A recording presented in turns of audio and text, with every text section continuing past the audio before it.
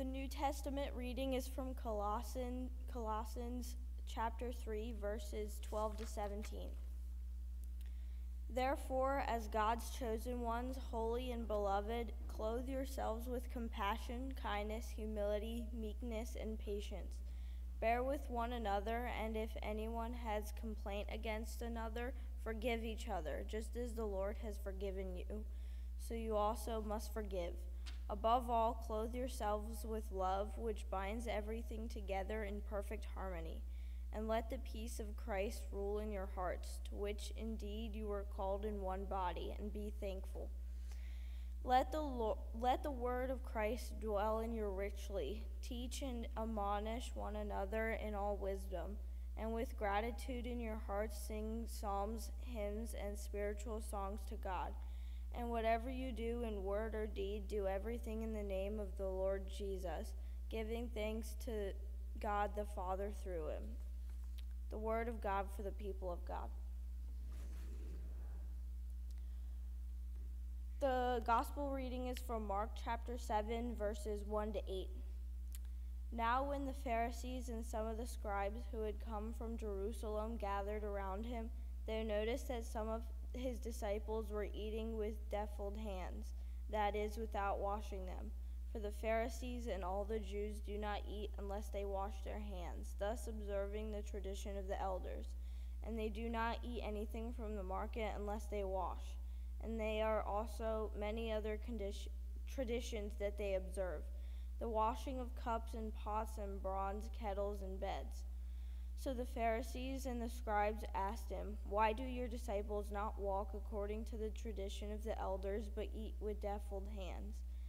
He said to them, Isaiah prophesied rightly about your hypocrites, as in as it is written, This people honors me with their lips, but their hearts are far from me. In vain do they worship me, teaching human precepts as doctrines. You abandon the commandment of God and hold to human tradition.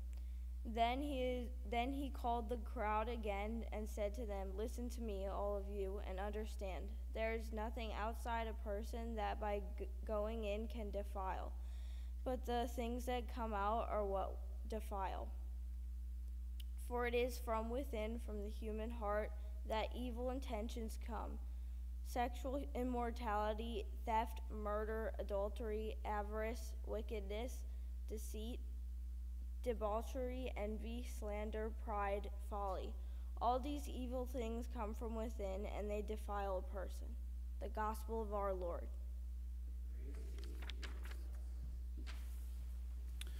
Thank you.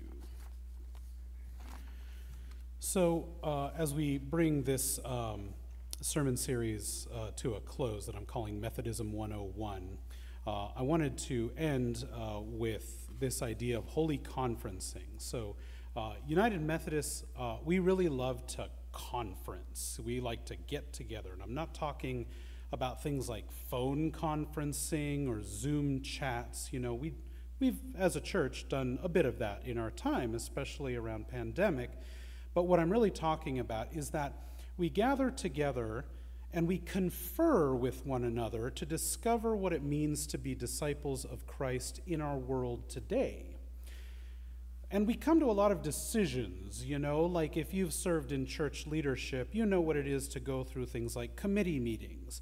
We make decisions about how we're going to do church together, you know, what's going to make Epworth Epworth.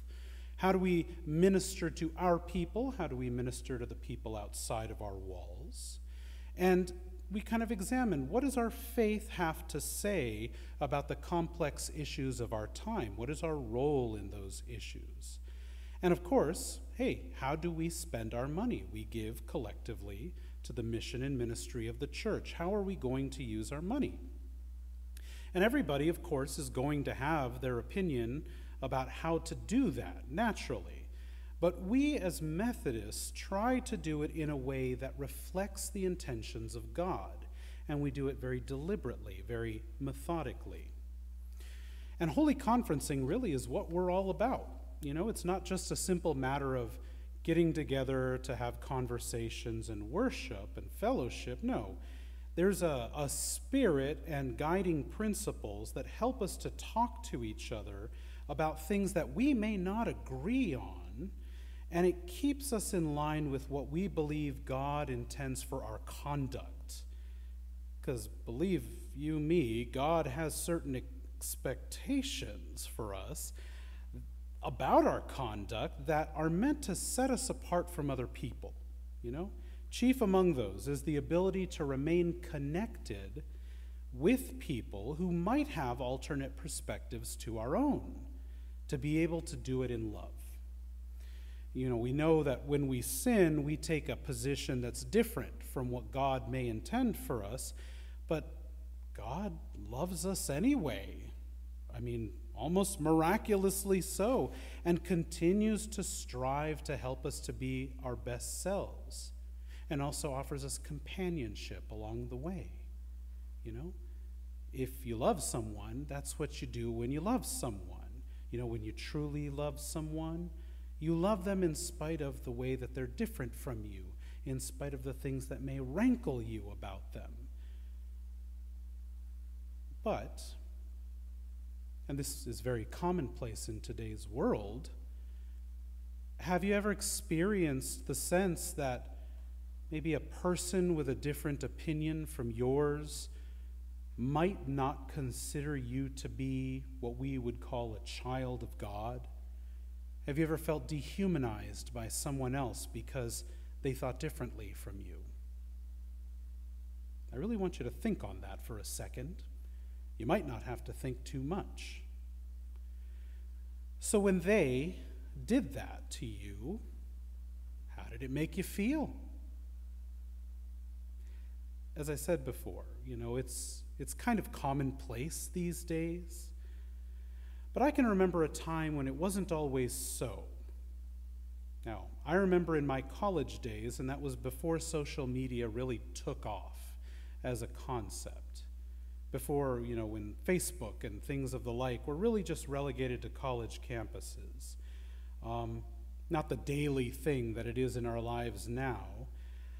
I was never really confronted by my peers, you know, with how differently they thought about what was right for them and how it was different from what I thought was right. If we had differences, most of the time, you know, we just kind of sue them over. You know, we'd move on because we didn't want to let our differences affect our relationship. You know, unless there was some kind of like real red flag, you know, like something that would give you pause and make you think, oh my gosh, I did not know you thought that way. I remember the first time a person that I considered to be a friend took exception with my stances on immigration. So, in the early 90s in Southern California, there were changes happening to immigration enforcement that, frankly, would make today's more conservatively leaning policies seem rather tame. There was a proposition called Proposition 187, and it was put on the ballot in 1994. Now, I was 14. And my mom was in seminary at the time. Um, you know, uh, she was uh, still trying to finish out uh, the classes that were necessary for ordination. And California at the time was gripped by a period of economic recession. So Mexican immigrants were being used at that time as scapegoats for almost any social ill you could imagine. Now, Governor Pete Wilson was the most visible champion of this referendum. Then it was known as, if you can believe it, the Save Our State referendum. I mean, of all possible titles. And it would restrict undocumented immigrants from accessing public health services and education. And it was all done in the name of uh, enforcement.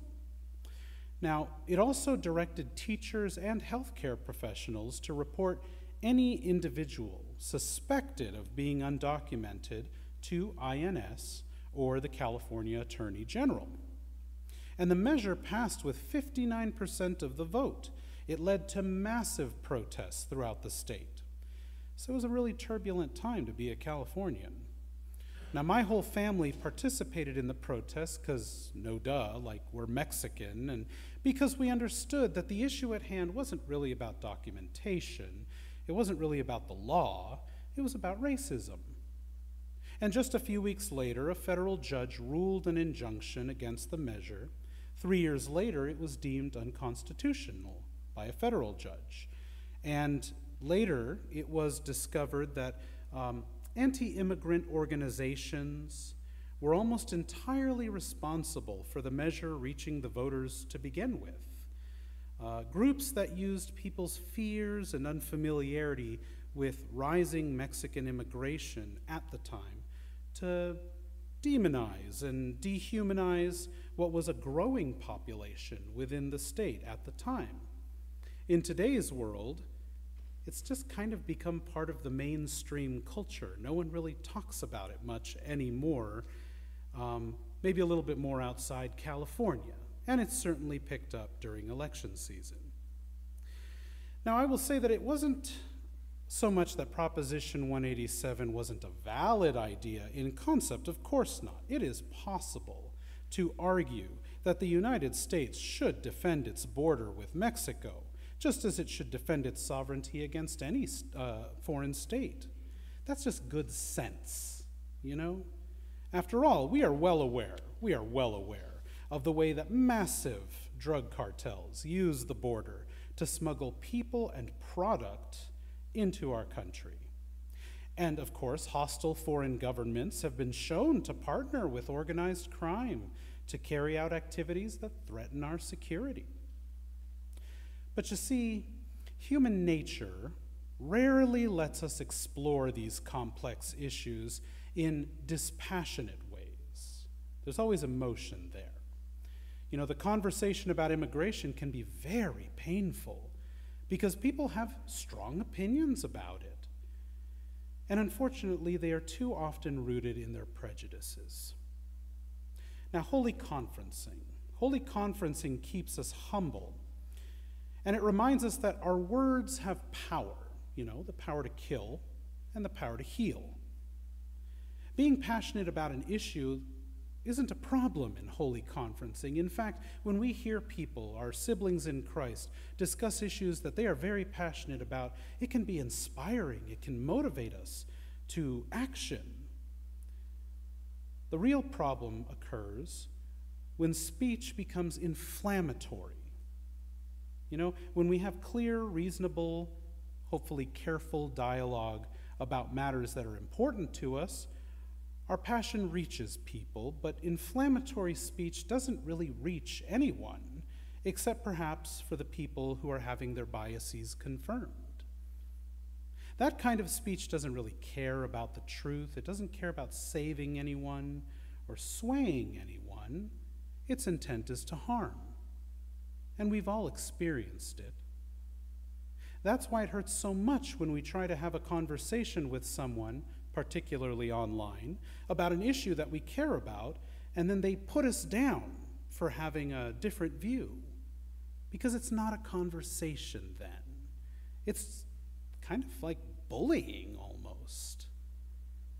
And when we're the ones doing it, because we've all been there, we know it.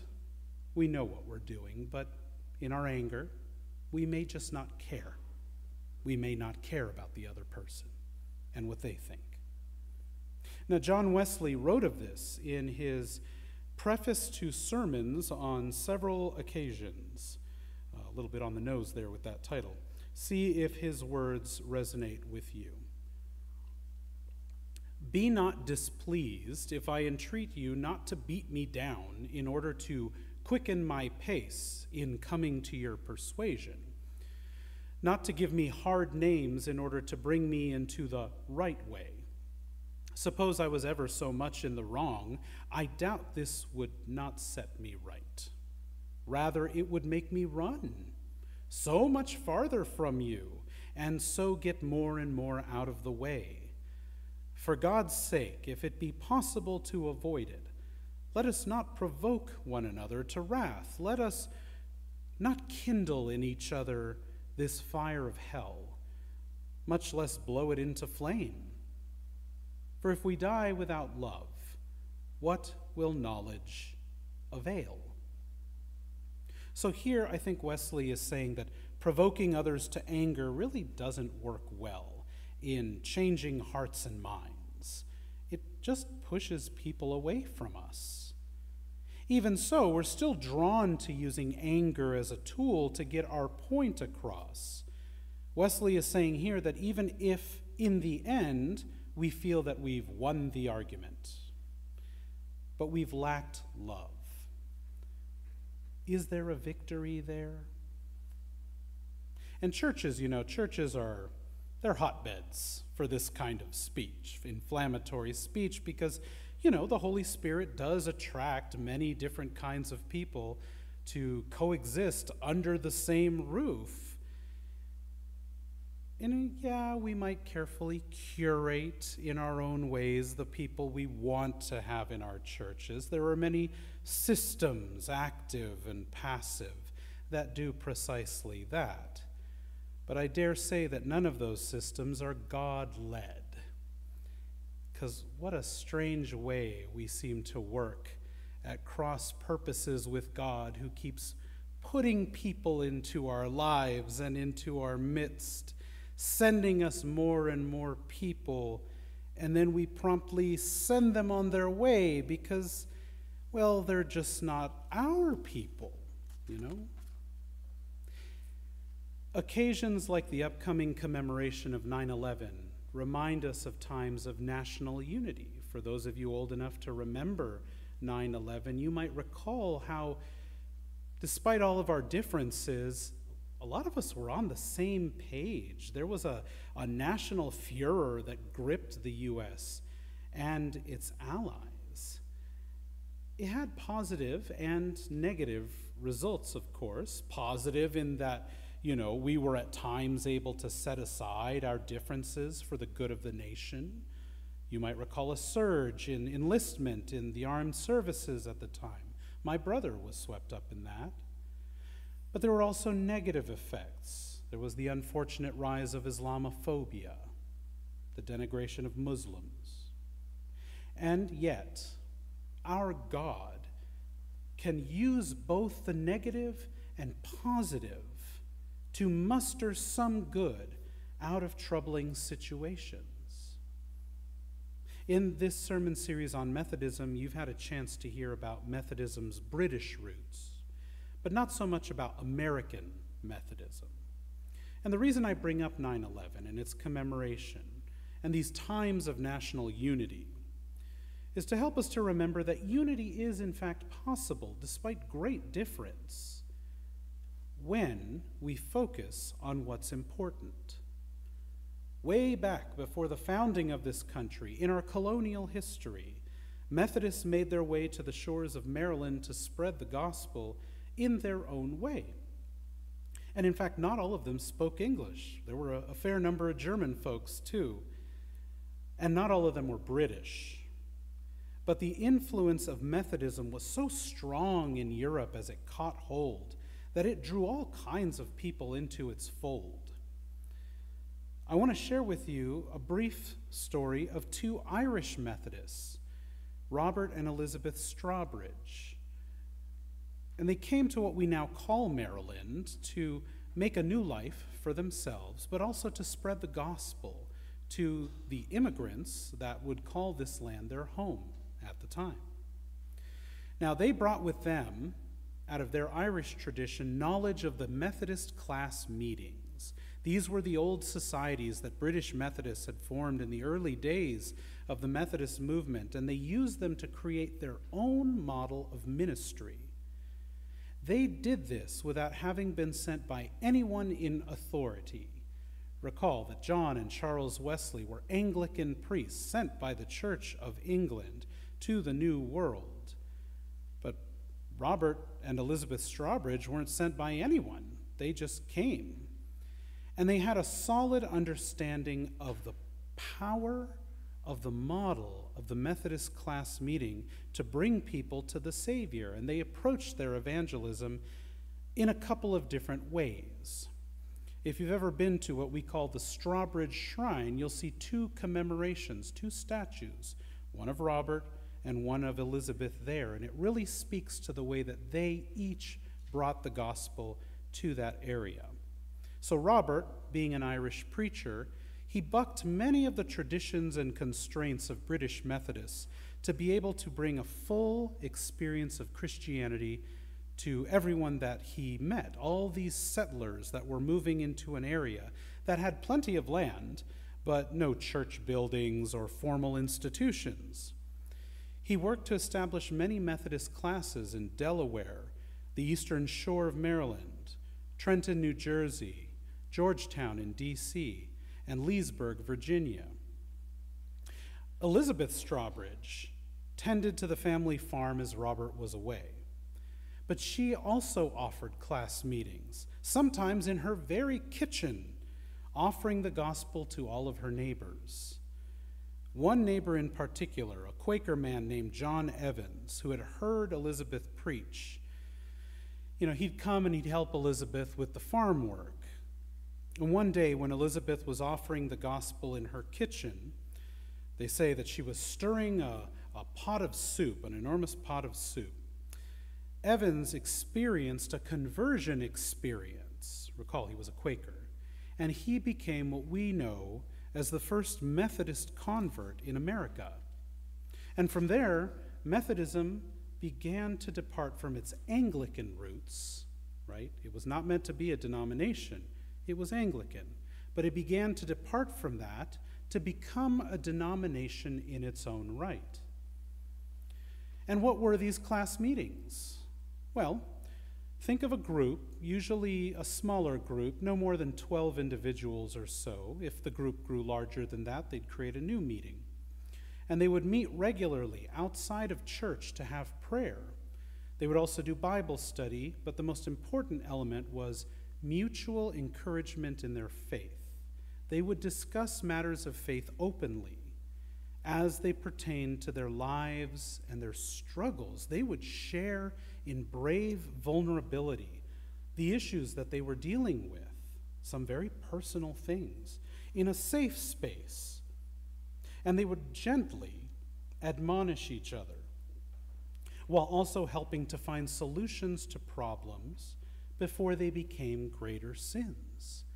They confronted a lot of things that we in our time would call social ills before they ever became worse.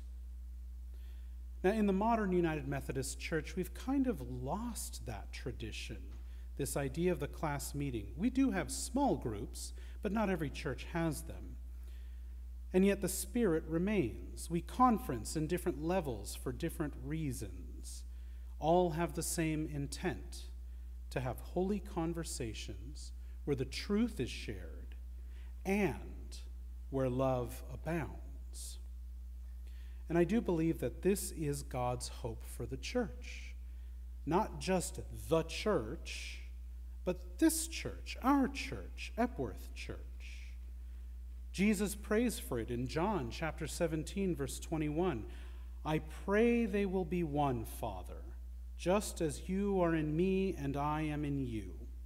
I pray that they also will be in us, so that the world will believe that you sent me. So that the world would believe that you sent me. Imagine that. When you roll out a worship here today and you go out into the world, can you believe that the world that you touch can come to believe in Christ when they see the way that we make our speech and our actions holy. That is what it means to be set apart. The world, you know, has plenty of examples of how things look when people don't agree. And I would say that it has formed expectations about those moments. But we, who are called to be holy have been asked to show the world something different, something hopeful. When we keep first things first, when we focus on what's important, the gospel of Christ, when we offer it in unity, not uniformity, unity, well, we show the world that a Savior reigns.